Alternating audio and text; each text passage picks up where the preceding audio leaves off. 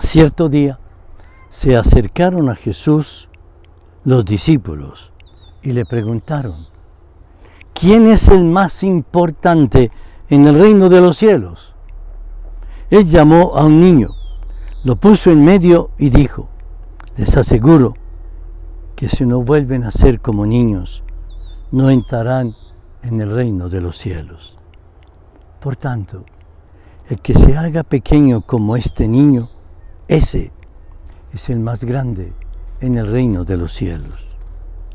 El que acoge a un niño como este en mi nombre, me acoge a mí. Cuidado con despreciar a uno de estos pequeños, porque les digo que sus ángeles están viendo siempre en los cielos el rostro de mi Padre Celestial. Palabra del Señor. Gloria a ti, Señor Jesús.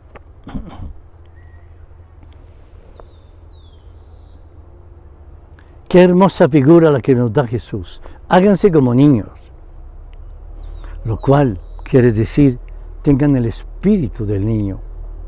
Porque a pesar de ser viejo, yo puedo ser como un niño, ¿sí? Y tú también, y todos.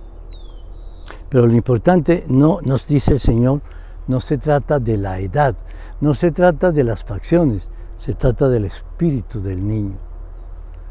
Un niño, por lo regular, es tan alegre. Un niño, por lo regular, está dando siempre sorpresas maravillosas con su hablar, con su gesticular, con su crecer.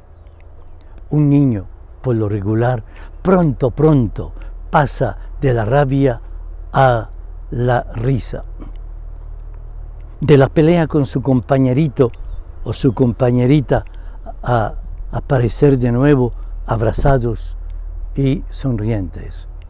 Por eso, Señor, danos el espíritu de la infancia, la infancia espiritual, doctrina tan supremamente señalada por Santa Teresita del Niño Jesús, cuya memoria ayer celebrábamos. Supliquémosle al Señor nos dé ese gran espíritu, ese gran talante del bien. Y en segundo lugar, dice Jesús, los ángeles están viendo siempre el rostro de Dios, pero a la vez tiene para con nosotros el anuncio y el cuidado. Son como dos fuerzas que tienen los ángeles para con nosotros. Y en la Sagrada Escritura casi siempre aparecen o anunciando algo maravilloso o cuidando a quien yace en peligro o a quien puede cansarse.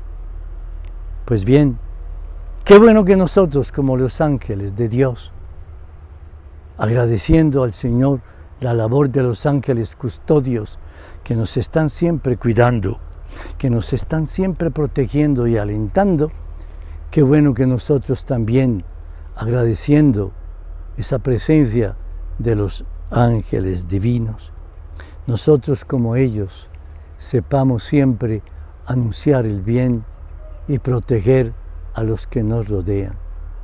Por eso no está mal decir, tú eres como un ángel para mí. Hay tantas personas que son tan buenas, que son tan profundamente luminosas, que podemos llamarles ángeles de Dios con nosotros, porque como los ángeles de Dios nos dan también a nosotros el cuidado y el mensaje necesario para estar en vías de santidad. Nos bendiga el Señor hoy y siempre, en nombre del Padre, del Hijo y del Espíritu Santo. Amén.